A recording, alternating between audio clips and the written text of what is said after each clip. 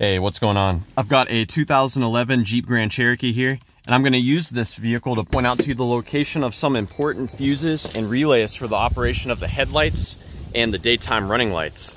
So all of this can be found under the hood.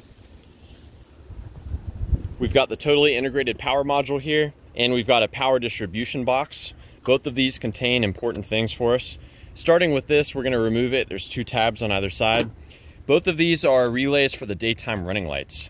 So this is the daytime running light relay for the driver's side. That's the daytime running light relay for the passenger side. And you can swap those as a troubleshooting step. Now we're gonna open this up here. More fuses. And there is a fuse puller located right here. These two fuses actually both provide power to your daytime running light relay. Uh, this top one provides power to the relays at all times. Uh, the one underneath it provides power to those relays only when the car is on. There are other fuses as well over here. This 15 amp fuse, among other things, does provide power to your headlight switch inside the car. And this 10 amp fuse does two things. For one, it provides power for use in the headlight leveling system.